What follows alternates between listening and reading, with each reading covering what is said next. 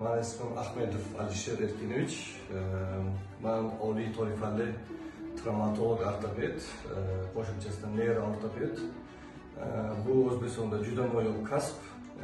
Asosiy bizani ish ishlashimiz bolalar, detsi bolalar bilan ko'proq ishlayman.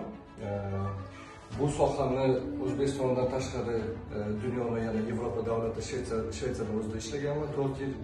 Neyro ortopediya bo'yicha malak oshirishni Moskvada o'tganman 3 yil. Imенно DCB bo'yicha mutaxassisman. Yana davlat 5-6 yil davlatlarda o'tganman. Именно faqat DCB. Kasbim faqat DCB bo'yicha ishlayman. Bu DCB bo'lamani, DCBni o'zi 5 turi bor. Asosan 3 ta turi, operatsiya qilinadigan turlari ham bor. spastika turlari mana hozir yonimizda turgan bolalar bu DCBni spastika turi.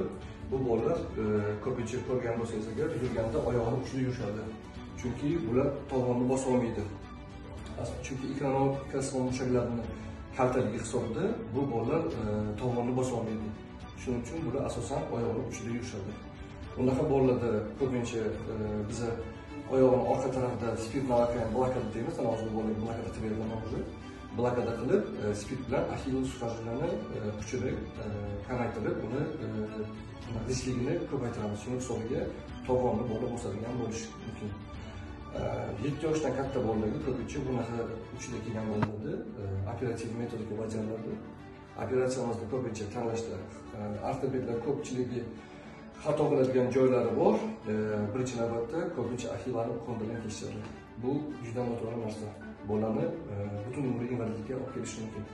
Agar buni e, o'zi testlari bor, testlar orqali tekshirib ko'rganda aniqlasa bo'ladi, qanaqa metodika bilan operatsiya qilish yo'llari birinchi navbatda hamstring e, test deymiz mana o'tganda agar kambalovitni to'qson gradus oyoqni bersa bu kambalovitni mushak bu zararlamagan bu yerda axillarga tegish kerak emas apparengizni qilsa bo'ladi. И unda qilganda mana oyoq to'qson gradusga bermaydi oyoq yuz gradusga o'tiribdi bu сто процент операция показания degan narsa